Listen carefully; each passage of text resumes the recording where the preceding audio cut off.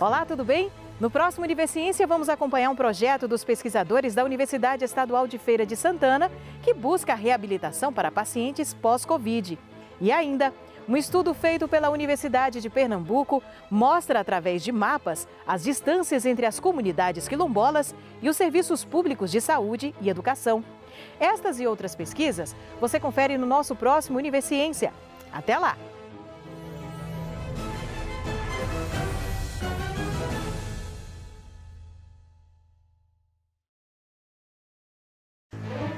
Olá, tudo bem? No ar mais um Universiência, o primeiro programa brasileiro de TV e internet, fruto de uma parceria entre TVs e instituições públicas de ensino superior nordestinas.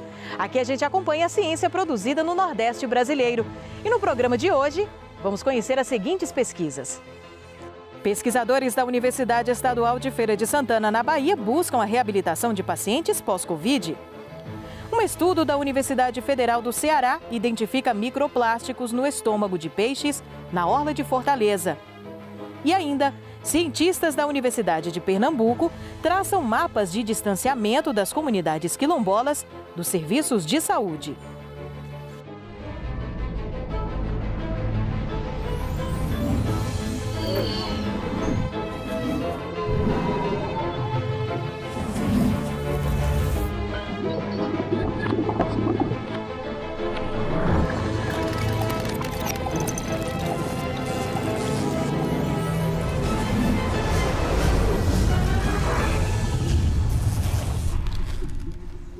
Os desafios da Covid-19 vão além da prevenção ou do tratamento. As sequelas também são preocupantes. E é aí que entra a missão do Ambulatório de Saúde da Universidade Estadual de Feira de Santana e dos pesquisadores, que buscam promover a reabilitação e a melhoria da qualidade de vida de pacientes com sequelas deixadas pelo novo coronavírus.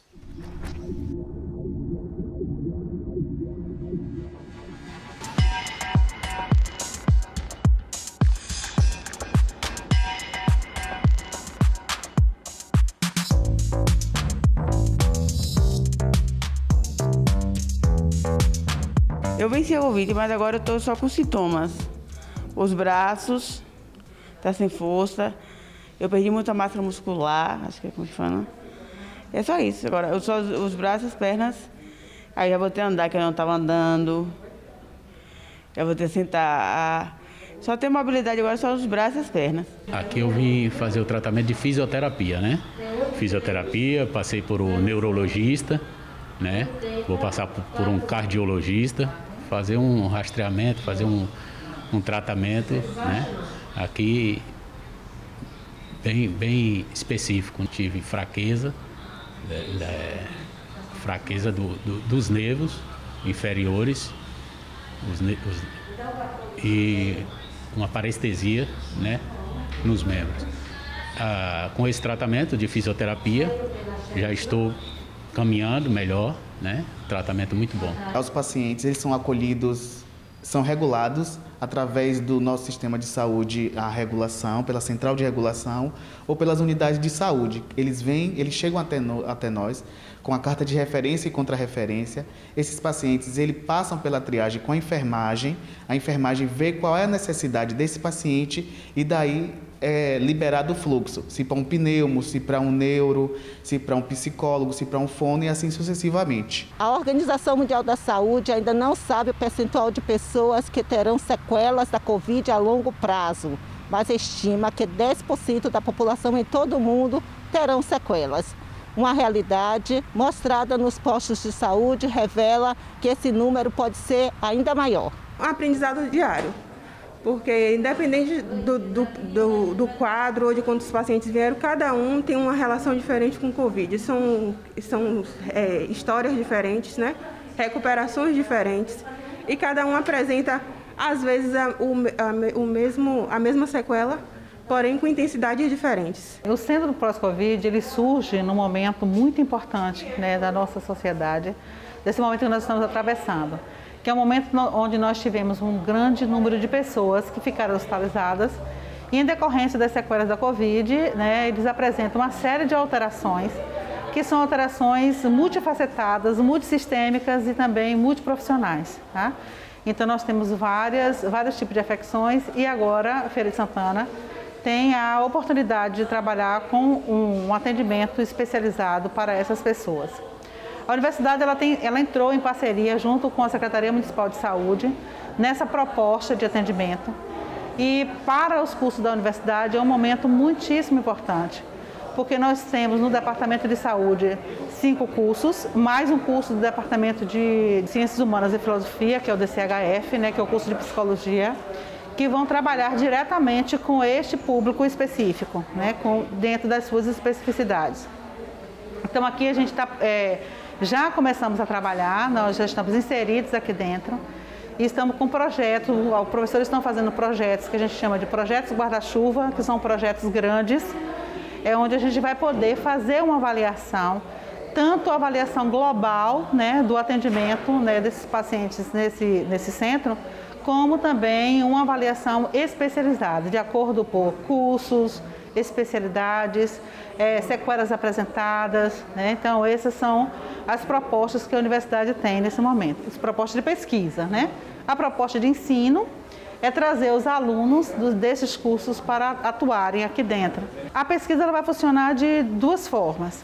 Primeiro, coleta direta, né, é, através da liberação do Comitê de, de Pesquisa, de Comitê de Ética e Pesquisas. Né, então, a gente pode fazer entrevistas diretas com os pacientes né, que procuram o centro, que estão sendo atendidos pelo centro, como também as pesquisas indiretas, que é através da avaliação dos prontuários, né, que, ah, dos pacientes que estão, estão sendo atendidos. Essas pesquisas, elas agregam para estudantes, para a instituição e para a comunidade de maneira geral que dependendo do resultado das pesquisas, algumas ações elas podem ser implementadas, modificadas, né? E é basicamente isso que é a finalidade da pesquisa, não somente de mostrar, né, o, o, o retrato né, do, do atendimento, o retrato dos pacientes que estão aqui, o perfil desses pacientes, mas também elas podem levantar lacunas né, a gente pode apresentar lacunas para que outros atendimentos, outros direcionamentos possam ser feitos em relação a essas pessoas que estão sendo atendidas. Cada dia é uma surpresa, né? Então, assim, você conversando com a enfermeira que faz acolhimento, ela sempre coloca, Silvia, hoje chegou uma pessoa que apresentou tal sintoma, quer dizer, cada dia tem é, sintomas novos que as pessoas pós-Covid elas apresentam e a gente, dentro desses sintomas, a gente vem buscando encaixar ou procurar especialidades que possam atender. Ainda não sabemos, é uma doença nova, se todos esses sintomas eles são reversíveis ou não. Mas nós estamos dispostos a estar trabalhando e fazendo com que essas pessoas voltem o mais rápido possível para as suas atividades cotidianas anteriores, né? E no próximo bloco você confere. Pesquisa da Universidade Federal do Ceará encontra microplásticos no estômago de peixes da Orla de Fortaleza. A gente volta já já.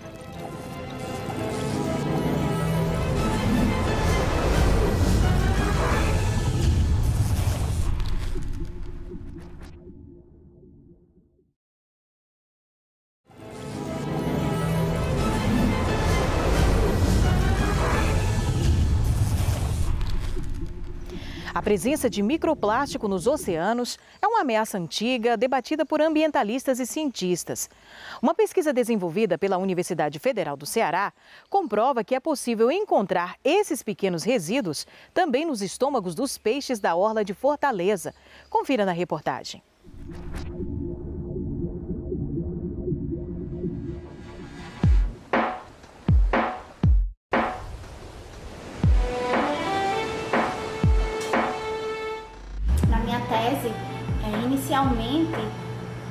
Proposta era estudar a Assembleia de Peixes associada aos espigões, né, na zona costeira de Fortaleza. Espigões são aquelas estruturas né, de pedra que se estendem da terra ao mar. Porém, na nossa primeira coleta, a coleta piloto, a coleta de reconhecimento da área, ao passar a rede de pesca para capturar as espécies de peixes, nós não capturamos nenhuma espécie de peixes né? apenas lixo veio ali, é presa e agregada à rede. A partir de então, nós vimos né, a necessidade é, de redirecionar os nossos estudos nesse sentido, de estudar essa problemática, a questão da poluição marítima. A gente tinha justamente a ideia de é, coletar né, todos os peixes da região, identificar as espécies, é, ver a parte anatômica para poder caracterizar justamente qual o papel dele. Né? Quando a Natália começou a analisar aqui no laboratório, a gente começou a fazer né, um estudo, como a gente fala, estudo piloto dos primeiros é, animais analisados, ela começou a falar, professora, eu acho que a gente está vendo isso aqui, parece um plástico. E aí apareceu uma vez, eu falei, ah, isso é plástico, um fragmento de plástico. E aí apareceu de novo, apareceu de novo, e começou, e aí eu falei, Natália, a gente vai ter que ver o que está acontecendo. Um copinho de plástico que está na orla da beira-mar, ele pode adentrar no mar e com o passar do tempo, esse copinho ele vai se fragmentando, né? ele vai se, se desfazendo e esses pequenos fragmentos eles podem vir a se tornar microplástico, que é quando ele atinge o tamanho de 5 milímetros. Nessa pesquisa feita na, na UFC com o Departamento de Engenharia de Pesca e o Labomar e o Departamento de Biologia, né, que foi esse, esse conjunto, foi detectado que os peixes aqui da orla, né, daqui da zona de arrebentação aqui do, dos espigões da, da Praia do Meireles, eles estavam também contaminados com, com microplástico. O objetivo da pesquisa foi é, identificar e quantificar o microplástico ingerido por sete espécies de peixes capturadas na zona costeira de Fortaleza. Uma das hipóteses do nosso trabalho foi verificar se o, a ingestão de microplástico por essas espécies estava associado ao hábito alimentar, né?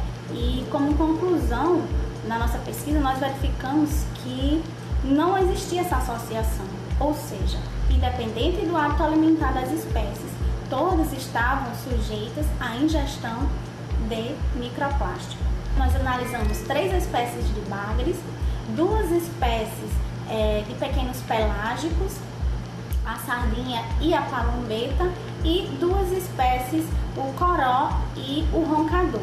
O microplástico mais presente nos estômagos das espécies que nós analisamos foi o poliéster. O poliéster, que é uma fibra sintética amplamente utilizado né, pela indústria têxtil. Uma das hipóteses que, que, a, que a gente estuda e que já vem sendo discutida é que esse poliéster entra no mar por conta da máquina de lavar. Nossa máquina de lavar, né? Então aquele, aquela, aquele resíduo vai para o esgoto e muitas vezes a gente limpa o nosso filtro da máquina de lavar na pia, né? E ali desce, né? Vai para o esgoto e acaba chegando ao mar. Isso nos mostra né, que nós precisamos é, repensar essa a questão do tratamento dos esgotos domésticos para evitar que esse tipo de microplástico ele chegue nos rios né, e posteriormente no oceano. Esse trabalho ele vai trazer uma grande contribuição é, porque para é, a região Nordeste ele é um dos primeiros trabalhos né, de escrever plástico em conteúdo estomacal de peixe. Né? Então, a partir de agora, a gente realmente tem como afirmar né, que a gente tem que começar a ter cuidado com essa questão desse plástico, que ele está chegando nos peixes, se ele está chegando nos peixes, ele vai chegar na gente também. A gente tem acompanhado desde o início da pandemia o compromisso dos cientistas das universidades públicas com a pesquisa. Para além dos estudos de combate à Covid-19, os pesquisadores da Universidade Federal Rural do Semiárido, adotando todas as medidas preventivas contra a Covid, têm ido a campo capturar animais e coletar material para uma pesquisa sobre ecologia e diversidade de pequenos mamíferos da Caatinga.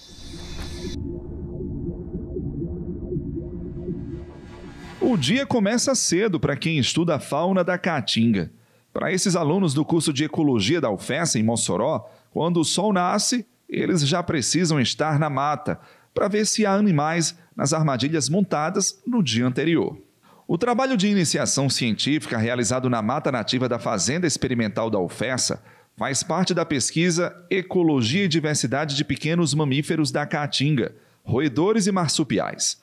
Para quem não sabe, os marsupiais são aqueles animais que têm uma espécie de bolsa para carregar os filhotes. Aqui o marsupial mais encontrado é a catita. Esse daí é um macho, com cerca de cinco meses. O trabalho é coordenado pela professora Cecília Calabucci. A caatinga ela tem recursos suficientes para uma comunidade inteira de pequenos mamíferos. Varia ao longo do tempo, mas não deixa de existir esse recurso. A gente aqui nessa, nessa área, a gente tem seis, sete espécies muito abundantes que a gente consegue estar tá fazendo esse trabalho de longa duração né, ao longo do tempo. Ao todo, são 100 pontos de captura de animais, totalizando 115 armadilhas. No trabalho de campo, que acontece mensalmente, durante uma semana inteira, cada estudante investiga as peculiaridades dos mamíferos. Tiara analisa a dieta alimentar dos pequenos animais. Esses animais consomem é, inseto, é, escomata, fruta. Isso vai variar muito do período de seca para o período chuvoso. Já Talita pesquisa a incidência de ectoparasitas principalmente se os animais apresentam incidência de carrapatos. Eu faço a inspeção no corpo do animal e coleto o, os carrapatos para depois serem analisados em laboratório para saber quais as espécies de carrapatos que estão acometendo esses animais. Até o momento é, foram encontrados carrapatos do, da espécie é, do gênero Amblioma, é, que segundo a literatura são espécies que ocorrem aqui na Caatinga. Pelas capturas feitas até o momento, os pesquisadores conseguiram encontrar seis espécies de pequenos mamíferos terrestres circulando por essa área de mata fechada. Entre eles, ratos, caçacos e gambás.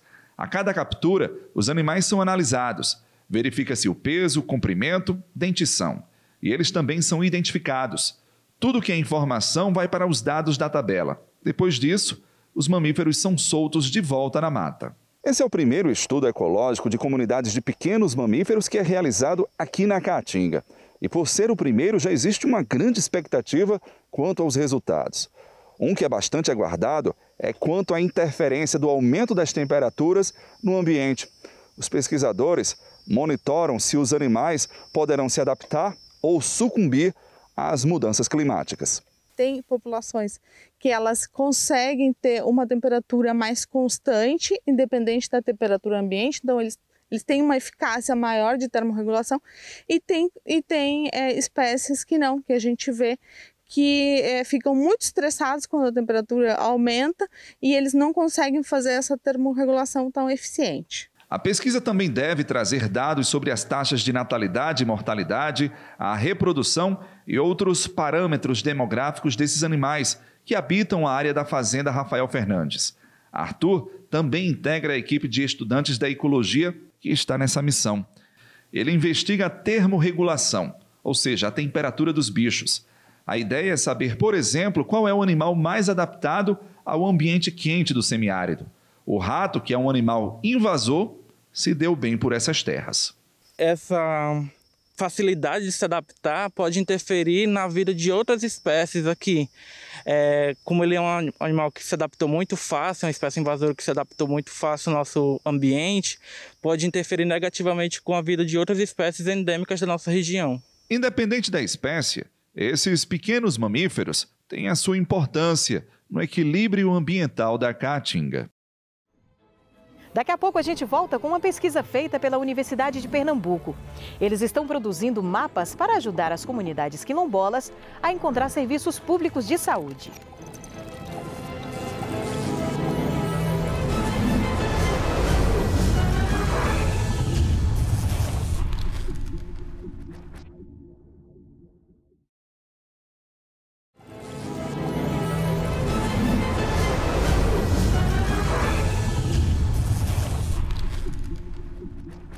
Menos de 7% das terras reconhecidas como pertencentes a povos remanescentes quilombolas estão regularizadas no Brasil. Diante da situação, o Grupo de Extensão Direito em Movimento da Universidade de Pernambuco, em parceria com a TV Pernambuco, produz mapas para calcular as distâncias entre as comunidades quilombolas e os serviços básicos de saúde. A pesquisa pode ajudar a garantir direitos essenciais dessas comunidades.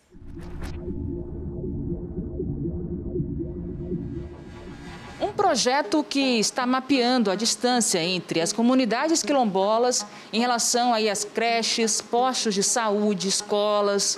Ficou curioso para falar mais sobre esse projeto? Estou aqui ao lado da professora de Direito da UPE, Clarissa Marques. Fazemos parte do curso de Direito da Universidade de Pernambuco no campus Arco Verde. Então estamos é, lotados e lotadas no sertão de Pernambuco. e temos um programa de extensão chamado Direitos em Movimento. E a ideia é exatamente fazer com que a estrutura jurídica, o acesso à justiça, os direitos, as informações em relação aos direitos das pessoas estejam em movimento, desloquem-se. Né, no sentido de encontrar as pessoas. Antes de ir para Arco Verde, eu não tinha noção de como a atuação do direito podia ser amplo, sabe?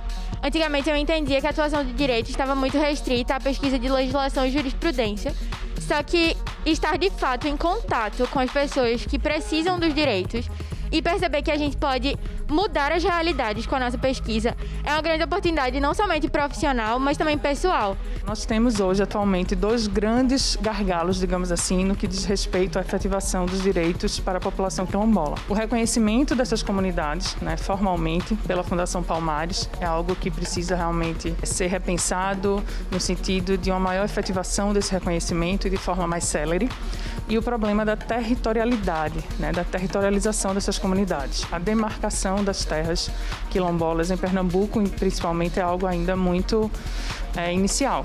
E como essa territorialização ela é deficitária, naturalmente o acesso a políticas públicas também torna-se mais difícil. Essa metodologia, né, essa nossa decisão em produzir mapas que calculem as distâncias entre as comunidades quilombolas e os serviços de saúde, educação e creche surgiu a partir de visitas que nós realizamos. Nós realizamos escutas para identificar as principais demandas dessas comunidades. A educação quilombola ela precisa perpassar né, por todos os campos desde o início e o que a gente pensa dessa questão da educação é que os professores eles sejam oriundos das comunidades quilombolas. Só nós quilombolas sabemos o que a importância que nós temos né, da nossa cultura, da nossa religião, dos nossos ensinamentos, né? Claro que compartilhando com outros conhecimentos, né? É oriundo de outras regiões. Quando a gente para para pensar na situação das mulheres, é necessário ressaltar que a maioria das mulheres do nosso país, sejam elas brancas, negras, pardas, enfrentam jornadas duplas ou triplas. E que isso normalmente está relacionado com cuidado com a casa e com cuidado com os filhos. Porque na maioria das vezes, a falta de creches impede que essas mulheres possam trabalhar. E aí elas ficam em casa sujeitas a situações de violência ou situações de dependência econômica ou quando elas têm acesso à creche, normalmente essas creches são muito distantes. Então as mães têm que andar durante duas horas para deixar as crianças, depois ir para o trabalho e daí andar mais duas horas para pegar as crianças e mais um tempo até chegar em casa.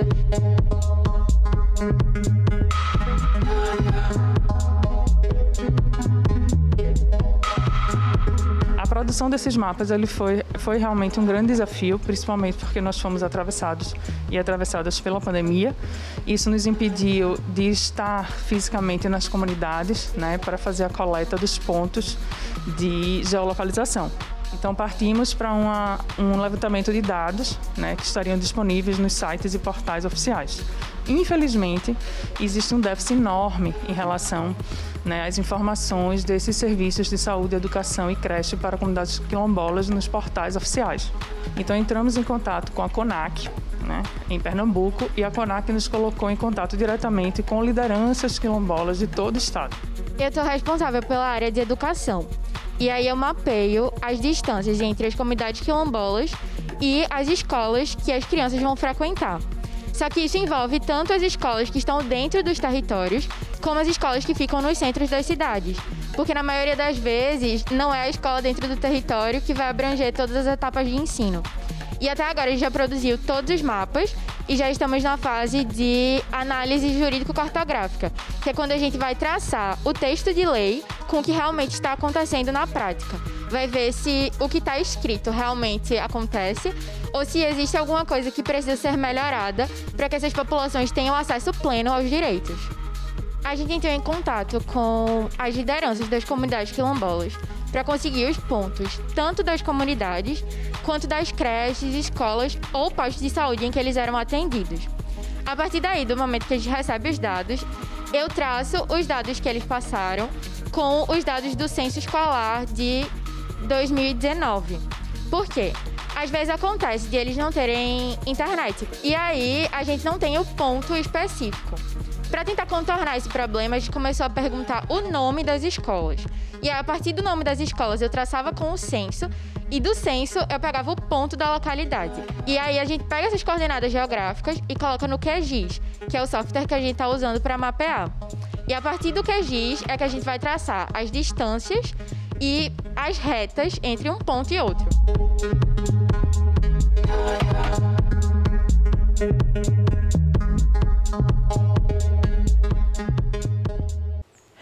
O de hoje vai ficando por aqui. Na próxima edição voltamos com mais pesquisas importantes daqui do Nordeste para você. Tchau, tchau e até lá!